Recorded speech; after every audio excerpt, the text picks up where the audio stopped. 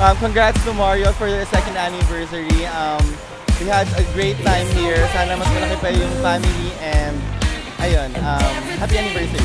Happy anniversary! We're so glad that everyone's here right now and we're so blessed that God visited us. And we're excited for more and God bless you everyone!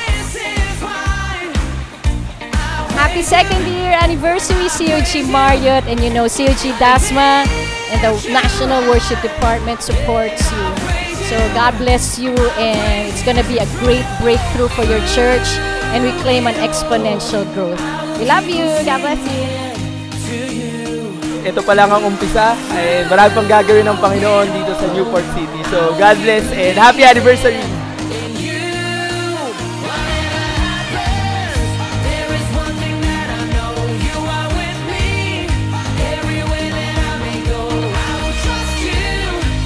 Congratulations everyone! So happy, happy anniversary!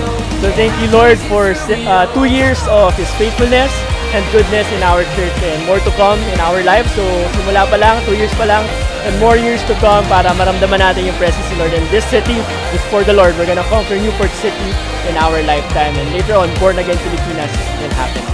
God bless. We love you.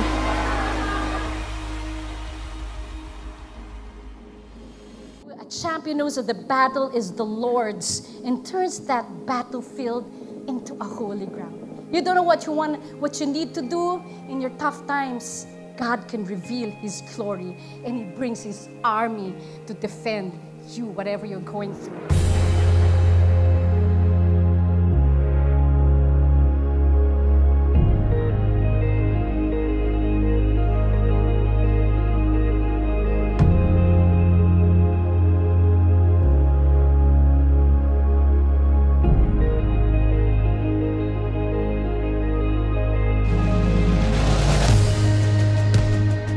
Likewise, a champion puts his passion in position.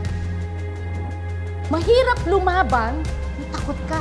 Kung lalaban ka, dapat solid ka. Passionate ka. Talagang ang desire mo is to win it.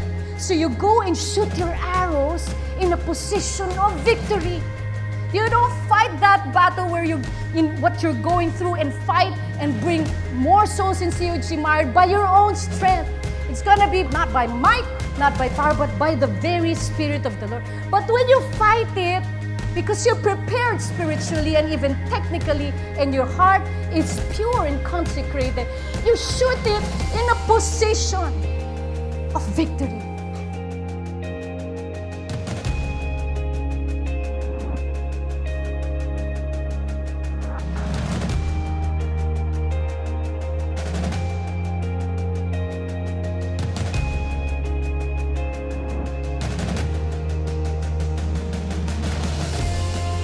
Kahit wala pa yung victory, kahit iniisip mo pa, Lord, paano mag-grow, mag-exponential growth in COG Marion, you are here now and saying, Lord, I will celebrate your victory because you're gonna do it.